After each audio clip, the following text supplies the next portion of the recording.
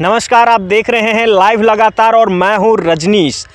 इन दिनों झारखंड में बारिश की रवैया बहुत ही उदास है, जिसके कारण खेती करने वाले किसानों को काफ़ी समस्या का सामना करना पड़ रहा है। आप मेरे पीछे देख पा रहे होंगे कि किसान किस प्रकार खेती करने के लिए नलकूप से पानी पटाने का काम कर रहे हैं, क्योंकि बिचड़ा इन लोग लगा चुके हैं। बिछड़ा लगाने के बाद बारिश नहीं हुई और सूखा पड़ रहा है, धरती भी फट रही है। तो आप देख सकते हैं तस्वीरों के माध्यम से किस प्रकार से यहाँ पर धान लगाने के लिए किसान तैयार हैं। लेकिन बारिश नहीं हो पा रही है।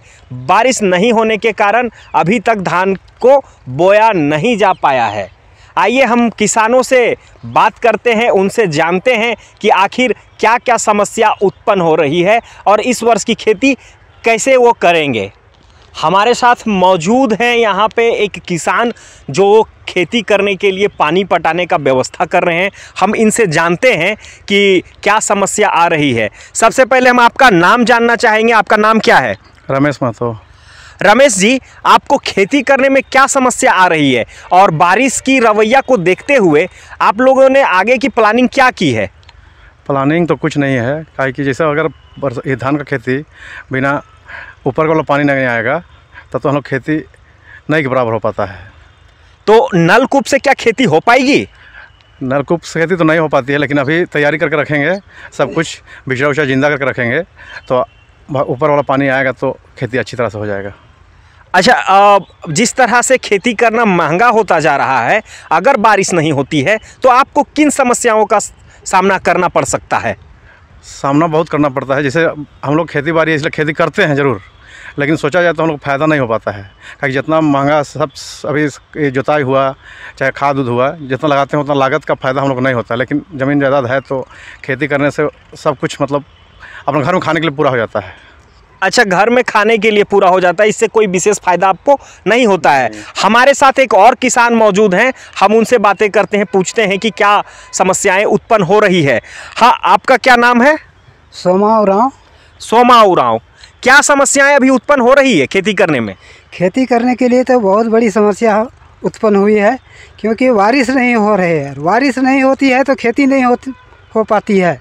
और खेती नहीं हुआ तो यहाँ का किसानों का वह जीवन बिल्कुल दयनीय स्थिति की ओर कगार में ज- चला जाता है धीरे धीरे और उन किसानों को रोजारी काम के लिए उन्होंने बहुत सा समस्या का मुसीबत को झेलना पड़ता है।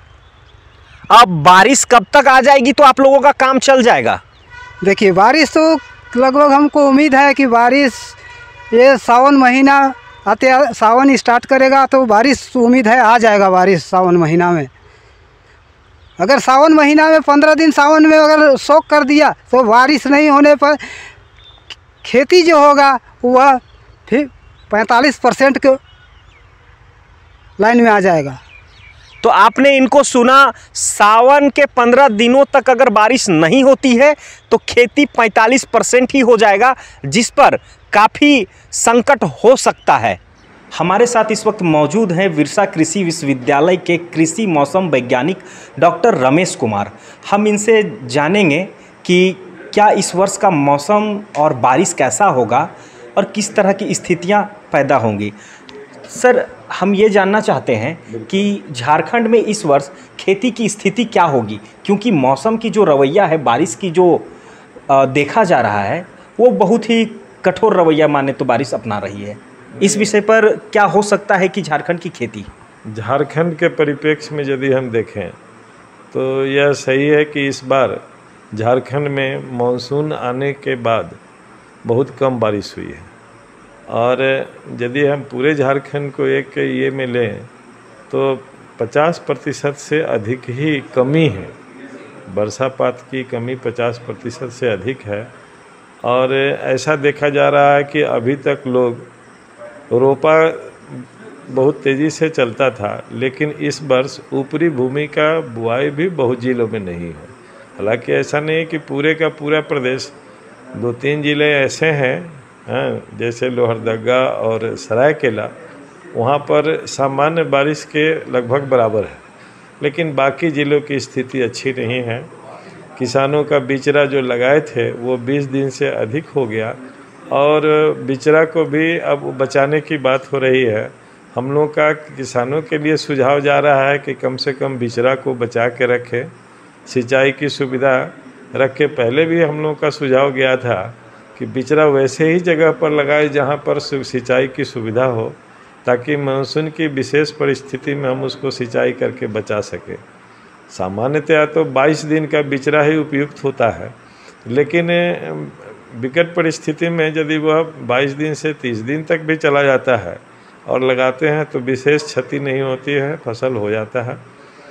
रुक रुक के चूँकि बारिश आ रही है और बारिश कम हो रही है तो ऊपरी भूमि में जहाँ जो लोग किसान के ये फ़सल की सीधी बुआई किए थे, जिसमें मक्का है उड़द है हाँ सोयाबीन है, रहर है तो ये सब फ़सल का छोटा छोटा पौधा दिख रहा है और कम बारिश होने की स्थिति में ये सूखे नहीं है। ये बचे हुए हैं। हाँ इनका जो ग्रोथ होना चाहिए जिस रफ्तार से, उतना तेज़ी से ग्रोथ नहीं हो रहा है क्योंकि नमी उतनी अच्छी नहीं है। तो यदि आगे स्थिति सुधर जाती है, मानसून की बारिश की स्थिति सुधर जाती है तो उसमें कोई असर नहीं होगा।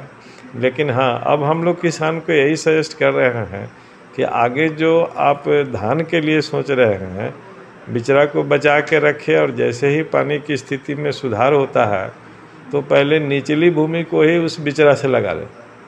और जो मध्यम भूमि है, उसमें धान की सीधी बुआई करें। सीधी बुआई करने से भी मिला जुला के फ़सल के उपज में कोई विशेष नुकसान नहीं होता है। हाँ हाँ देखभाल थोड़ा करना पड़ता है, लेकिन उसमें लागत भी कम है। लागत भी कम है, इसलिए किसान को अब सीधी बुआई ही एकमात्र ऑप्शन बच गया है जो धान के लिए करेंगे। तो अभी के परिप्रेक्ष्य में हम लोग यही कह सकते हैं कि झारखंड के लिए थोड़ा सा वेट एंड वॉच भी ज़रूरी है। कम पानी तो हो रही है, धान की रोपाई तो नहीं हो रही है। हाँ तो लेकिन जैसे ही कुछ मैंने सुधार होता है तो वो बुआई करें। और बिचरा जो है निचली भूमि में लगावे जहाँ पर कम बारिश होने पर भी पानी मिल जाता है। सर एक प्रश्न है कि मुख्यतः यहाँ पे धान की खेती को देखा जाता है झारखंड में। तो सर धान की खेती इस वर्ष कैसी होगी? क्या सुखाड़ घोषित होगा या सामान्य रहेगा? जिस तरह की भी परिस्थितियाँ उत्पन्न हो रही हैं। अभी की परिस्थिति के हिसाब से ये कह देना कि इस बार सुखाड़ होगा बिल्कुल गलत है। बहुत बार देखा इसको अर्ली सीज़न ड्रॉट बोला जाता है। अर्ली सीज़न जब ड्रॉट हो जाता है तो आच्छादन प्रभावित होता है। जितना एरिया में धान होना चाहिए, उतना लोग कर नहीं पाते हैं। जैसे अभी बिचरा लगाए हुए हैं, किन्हीं का बिचरा सूख भी गया पानी वाले जगह पर नहीं लगाए थे तो सूख गया फिर से वो बुआई करेंगे। तो जितना आच्छादन होना चाहिए, उतना आच्छादन तो नहीं होता है।